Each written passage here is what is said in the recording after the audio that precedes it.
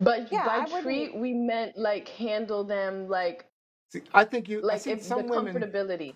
See, I think some women will, for example, share a bed with a best friend, a female best friend.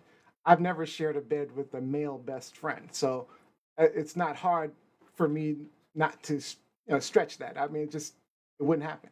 so But I think, but I think, but I think, but I think that's because you do what you do. Like if you encounter a lot of male athletes who are in poor programs, they've been sharing beds because they have no other choice.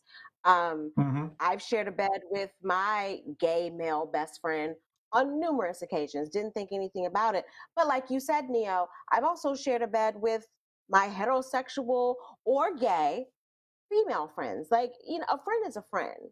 A friend is a friend. Like Yeah. I'm not I haven't I'm not gonna a treat you any differently. female friend Okay. unless I was You guys gotta watch looking it. for more than a friendship.